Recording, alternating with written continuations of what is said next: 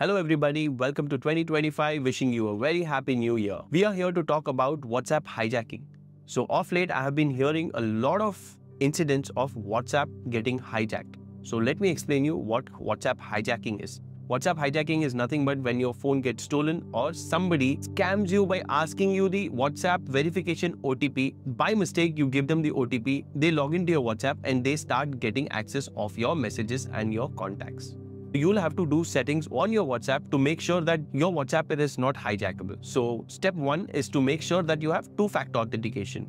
To enable this two-factor authentication, you'll have to go to settings inside your WhatsApp, click on account, and over there you'll have an option called two-factor authentication. Enable this two-factor authentication with a secret code. Make sure you do not give 1, 2, 3, 4, 5, 6 and all zeros or any sequential numbers for this two-factor authentication. Make sure this is a complicated code and also save this code inside your notes or share it with any of your family member.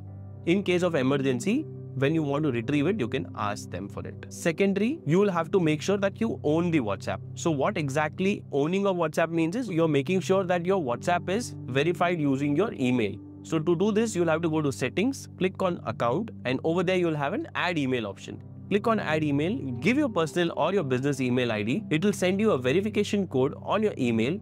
Take the verification code and verify it back on your WhatsApp. So once this is done, you will get a message email verified. So once this email is verified, you don't have to worry. Even if you forget your two-factor authentication, you will be able to retrieve it using your email ID. Thirdly, I'll suggest you is take your WhatsApp backup regularly. To do this, if you're using an iPhone, make sure you have enough iCloud storage on your cloud to take the WhatsApp backup and limit your WhatsApp backup to 15 GB. If you include WhatsApp videos in your backup, it is going to take a lot of space and consume a lot of time to take a backup on your cloud. Finally, once these three settings are done, your WhatsApp is completely safe and secured. Do share this video with your friends and family. If you think this video was helpful, kindly subscribe and follow my channel and wait for more such videos to get educated on tech. Thank you. My name is Amit and you're watching my channel, A Gadget Story.